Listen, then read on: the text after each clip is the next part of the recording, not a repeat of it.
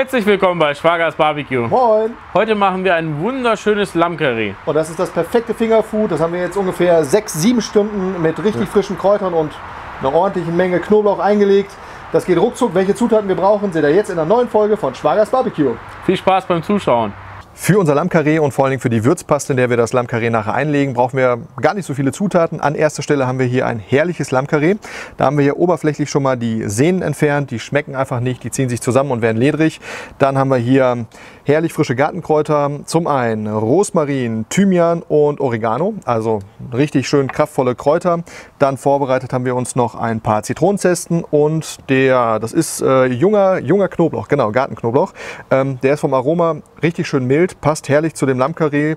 Und dann werden wir noch den Saft von so einer halben Bio-Zitrone, von dem wir auch die Zesten schon haben, ähm, und ein gutes Olivenöl. So, als nächstes nehmen wir unser Lammkarree und werden das hier vorne in so eine Tupperschale einlegen. Da kann es erstmal warten, bis wir die Marinade fertig haben. Und dann geht es eigentlich an die restlichen Zutaten. Den Knoblauch haben wir jetzt schon vorgehackt. Den werden wir jetzt noch einmal kurz durchhacken, dass es schön fein ist. Das muss nicht, wer weiß, wie grob sein. Einfach nur mal, dass die Stücke einigermaßen gleichmäßig sind. Das tun wir dann auch schon hier mit zu dem Lamm. Die Zitronenzesten, die werden wir jetzt einfach nur grob in feine Streifen schneiden und dann ein bisschen würfeln. Das soll schon reichen. Oh, ein irres Aroma breitet sich hier wieder aus. Richtig, richtig schön. Lamm und Zitrone, Knoblauch, das gehört für uns einfach zusammen, passt wunderbar. Und apropos Zitrone, den Saft einer halben Zitrone werden wir auch noch benutzen. Achtet darauf, dass ihr auf jeden Fall ähm, ja, Bio eine Bio-Zitrone nehmt. Wir haben sie zusätzlich noch mal heiß abgespült, man weiß ja nie. Und da gehen wir es jetzt so, den Saft richtig schön drüber. Nicht verschwenderisch sein. Herrlich. Und dann kommen wir auch schon zu den Kräutern. Wir haben von jedem, von jedem Kräutern haben wir ungefähr so zwei, drei Stränge. Das ist auf die Menge völlig in Ordnung. Da schneiden wir jetzt unten den Strunk ab. Das Holzige brauchen wir nicht. Und dann einfach nur runterschneiden, grob zerhacken. Das muss nicht fein sein. Einfach nur, dass man es gut vermischen kann und das kommt oben drüber. Oh Leute, Geruchsfernsehen, das ist echt die nächste Entwicklung für YouTube. Richtig, richtig schön. Und zu guter Letzt kommt jetzt noch ein Schluck Olivenöl rein. Welches ihr da nehmt, ist prinzipiell euch überlassen. Nehmt ein schönes, schönes natives und da gebt so viel Olivenöl rein, dass der Boden leicht benetzt ist. Das muss nicht schwimmen und dann einfach nur alles miteinander vermengen. Da feiern die Aromen eine kleine Feier und massiert das ruhig in das Fleisch mit ein. Das war es auch schon an Vorbereitung. Schön die Kräuter oben drauf. So kommt das Ganze jetzt ungefähr für die nächsten vier bis fünf Stunden abgedeckt im Kühlschrank, kann richtig schön durchziehen und dann sehen wir uns am Grill wieder. So Leute, ich habe hier zwei wunderschöne Lammkarree vor mir liegen. Die hat Arndt heute Mittag vorbereitet. Also die liegen seit sechs Stunden hier drin in diesem Sud. Und das erste, was hier einen entgegenkommt, wenn man die Frischhaltefolie runter macht, ist auf jeden Fall so ein, so ein Knoblauch- und frische Gewürzegeruch. Das ist so eine richtige Bombe, der schießt einen direkt in die Nase. Gut, äh, so sehen die guten Stücke aus. Die, äh, ich mache jetzt den, äh, das ganze Zeug hier ab, die ganzen Gewürze einfach mal ganz grob runter mit den Fingern. Und das, was so noch drauf ist, das könnte alles verbrennen. Deswegen hauen wir das alles hier schnelle Hand runter und tupfen das ganz leicht ab. Ahn kann sich das Grinsen im Hintergrund nicht verkneifen, weil ich glaube, der freut sich da auch auf dieses Lamm hier. An dieser Stelle äh, schönen Gruß ne, an den Beef Shop. Ach, ähm, Beef Shop Bielefeld. Beef Shop Bielefeld, okay. ganz genau. Da haben wir nämlich dieses tolle Fleisch. So, Fleisch steht bereit, der Grill ist äh, vorgeheizt und ja, jetzt sehen wir uns am Grill.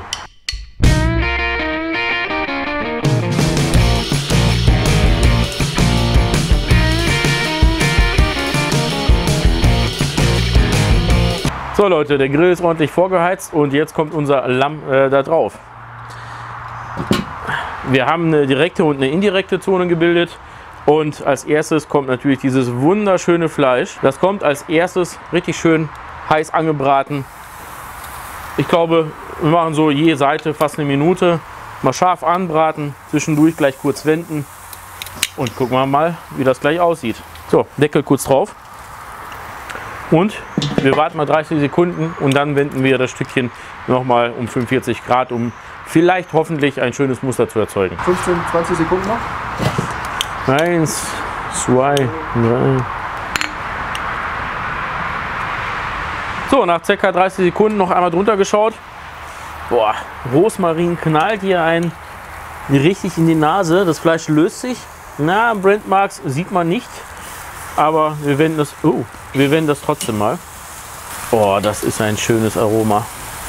Junge, Junge, Junge. Und für die weitere Minute einmal wieder drin. So, weitere Minute ist rum. Wir öffnen wieder den Deckel.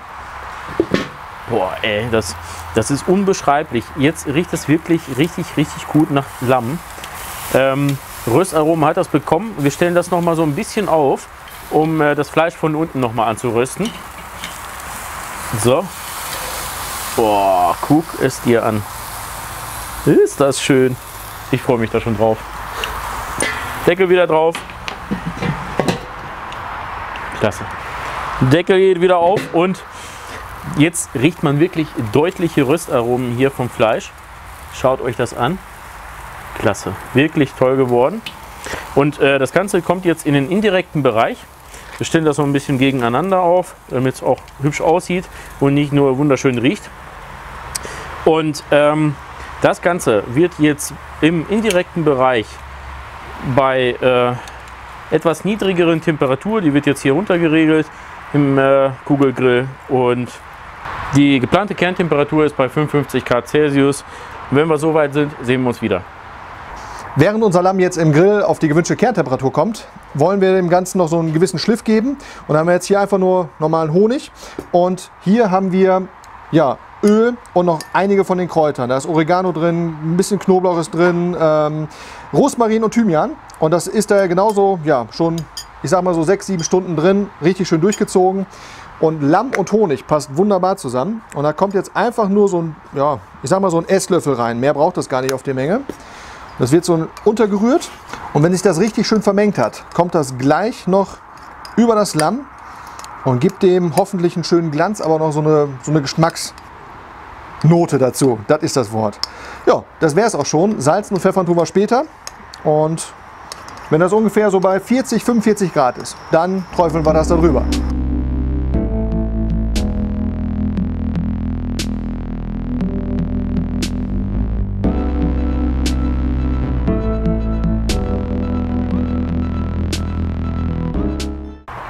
So, da ist das beste Stück hier. Bei 56 Grad schnell nochmal rausgehoben. Und jetzt lassen wir das zwei, drei Minuten ruhen hier auf dem Brettchen. Decken, äh, decken das kurz mit einer Alufolie ab und dann geht es weiter. Ein richtig, richtig tolles Aroma, was hier aufsteigt. Es ist wahnsinnig geil. Also wir, wir freuen uns da wirklich drauf. Jetzt trennen wir die einmal voneinander und schneiden das einmal kurz an. Und äh, wie Arndt es glaube ich schon erwähnt hat, Salz und Pfeffer sind noch nicht drauf. Das machen wir gleich aber als nächstes. Boah, guckt dir das an. So, ich schneide einmal kurz an. Gucken, wie der Gargrad ist. Das Messer rutscht hier durch. Ja, nee, guck es dir an. Ist das ein Wahnsinnsergebnis. Boah.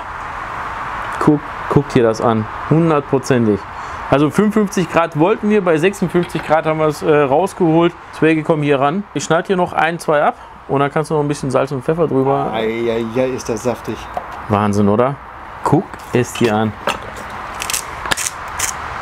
Nicht zu viel Pfeffer, Nicht zu ganz viel klein, ein bisschen grob. Prost, ne? Oh, Saft, Saft. Was für ein Traum. Lieber. Ey, der volle Lammgeschmack.